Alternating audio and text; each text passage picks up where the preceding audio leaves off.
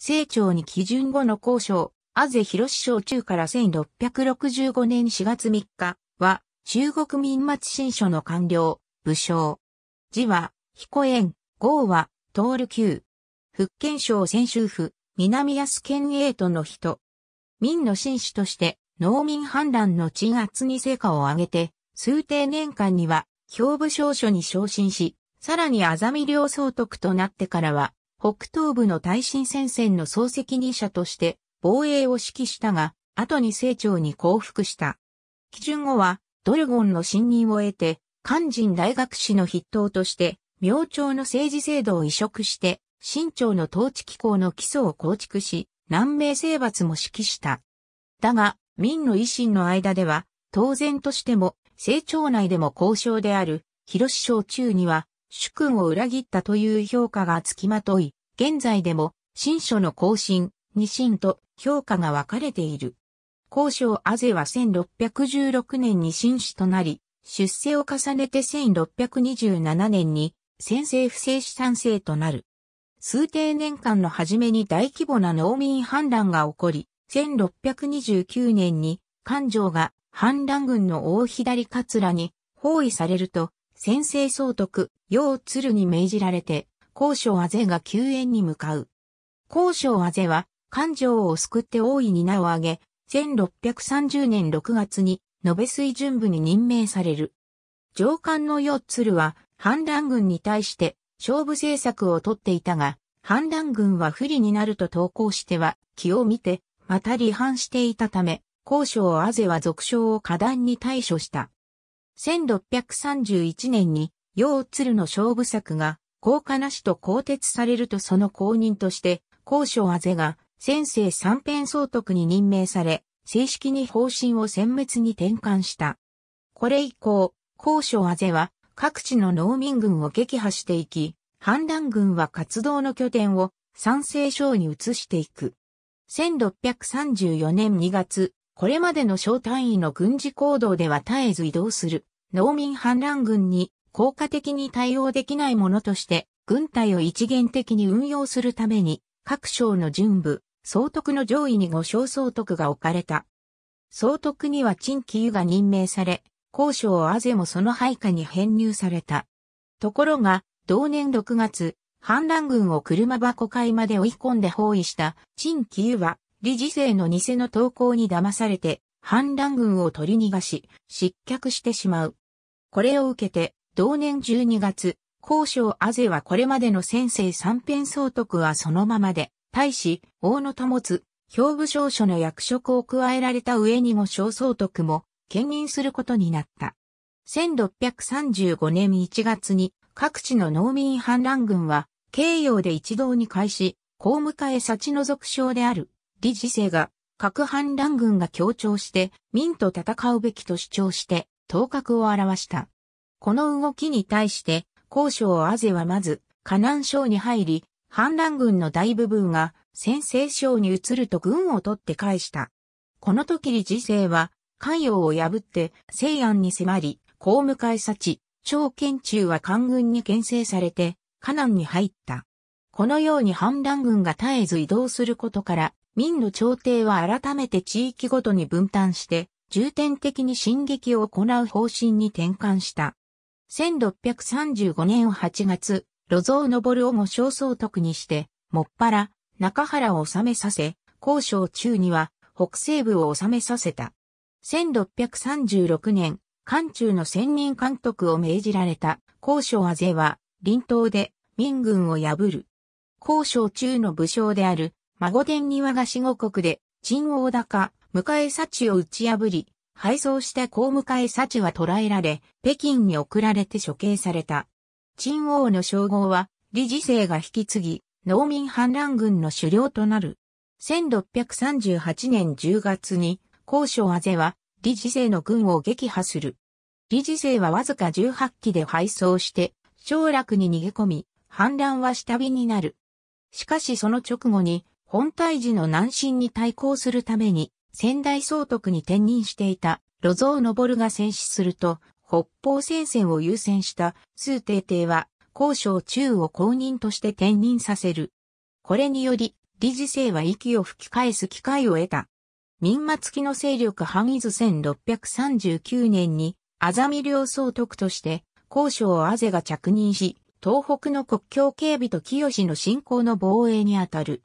1640年冬、新軍は、金州とネイエンを攻め、交渉あぜは援軍を派遣するが遠山、安津山で負ける。この状況を打開するため、1641年に、交渉あぜは8人の総兵と13万の軍勢を率いて、ネイエンに集結する。1641年3月、本体寺は大軍を率いて、金州を包囲する。金州は明朝防衛のための重要拠点であるため、交渉あぜは救援を決めるが、8人の総兵はいずれも命令に服従せず、軍としての一体行動が難しい。そこで、交渉あぜは、自陣から金州まで徐々に陣地構築しながら進軍し、兵の消耗を防ぐ作戦を主張した。こうして民軍は、松山から金州に至る拠点を使って、進軍を攻撃し、局地戦としては優勢に転じた。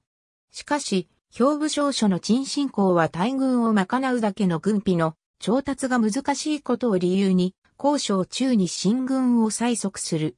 持久戦による進軍の消耗を待つことができなくなった。交渉あぜは、やむを得ず1641年7月に軍を率いて、金州の南、松山の北にある父峰山一帯に布陣し、新軍との決戦体制を取る。1641年8月、聖教の本体寺は、交渉あぜが出てきたことを聞き、急遽自ら聖木旗、木旗を率いて、援助に赴き、民軍の南側にあたる松山と安津山の間に、布陣し、大きく民軍を包囲する陣形を取った上で、民軍の退路、領土を遮断した。補給路を断たれて動揺した民軍では、交渉あぜは一大決戦による事態打開を主張したが、各総兵は撤退を主張し、結局結論は中道を取った形で包囲を強行突破することとなった。突破作戦の途中、各軍は軍令も待たずに先を争って撤退し、新軍はこの後期を利用して配送兵を追撃した。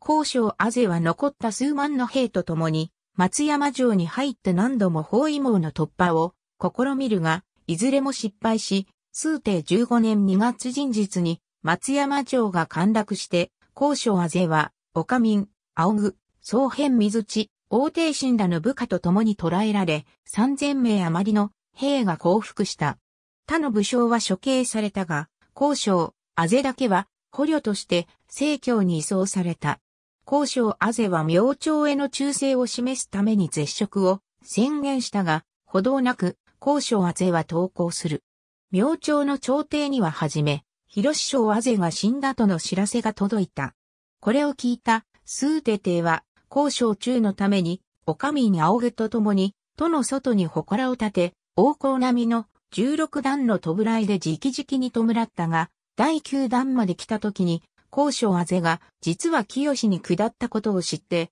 途中で取りやめた。本体時在位中は、官軍旗旗指揮下として、表面上厚遇されながらも、具体的な感触につくことのなかった交渉あぜだが、次の順次定時期になると、風向きが変わってくる。数帝17年3月に、理事制によって民が滅亡すると、翌月には清は、栄神のドルゴンを大将軍として南西を開始する。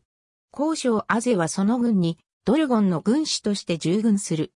交渉アゼはドルゴンに意表をつくことを検索する。これは現在の清理事西軍、民の維新の三つどもへの状況にあって、とにかく敵を理事西軍に絞り込み、アザミ州、三つ運から速やかに北京を制圧するというものだった。そのためには人民を殺さず、略奪も行わず、降伏する民の維新は積極的に登用するべきと説いた。ドルゴンはこの策を受け入れて布告したため、北、直令、三島、三世などがスムーズに真の支配下となり、旧暦5月2日にドルゴンが北京に到着した時には、民の文部初心が場外まで出迎えに出てきて、即日入場を果たした。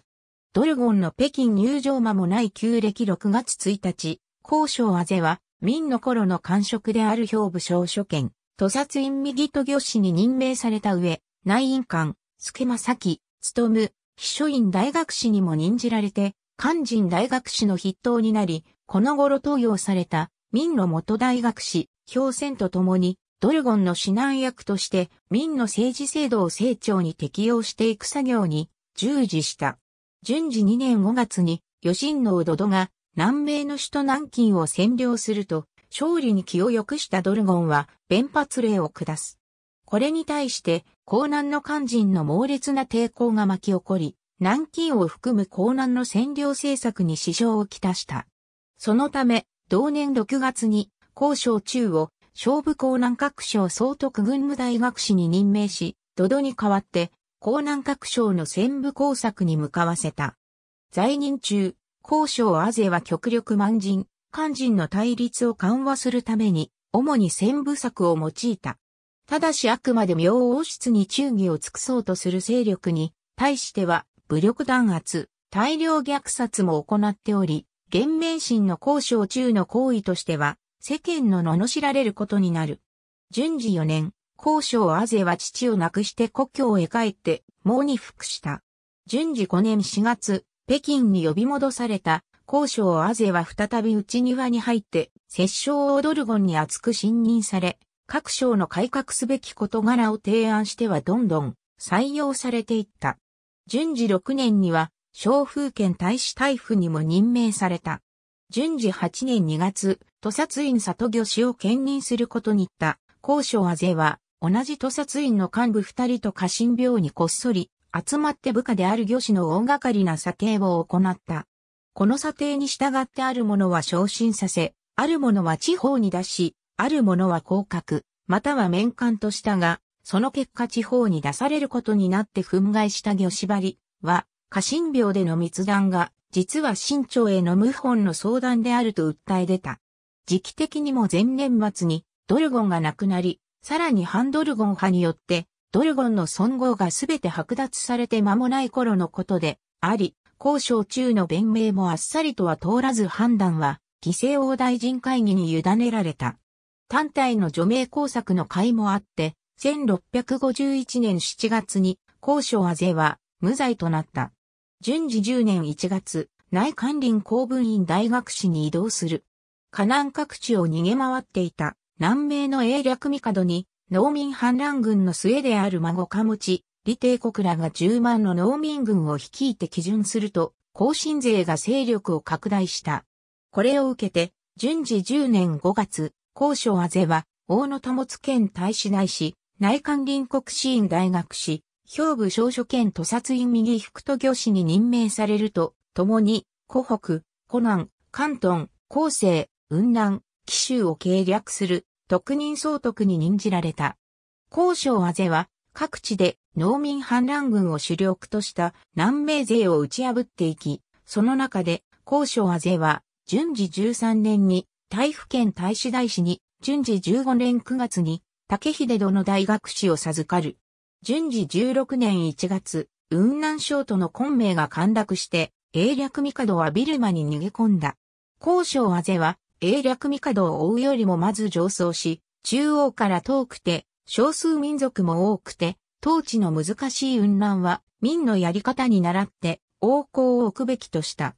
これによって、五三系が、平成王として統治することになった。また戦乱による民衆の窮状を訴え、貧民救済の費用を獲得した。これらによって、雲南、紀州の治安は徐々に安定していった。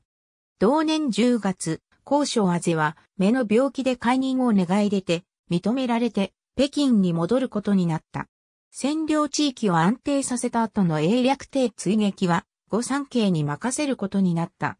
順次17年に北京に戻った高所あぜだが、特に報奨もなく冷遇された。順次18年1月、順次帝が急死して、この後期帝が即位する。この時、広志省あぜはすでに69歳で、依然として大学士ではあったが5月に引退を願い出る。朝廷は論争を何度も経て、世襲の三等足立高校版の爵位を与えた。後期4年2月、高渉あぜは73歳で死去した。死後は文章。ありがとうございます。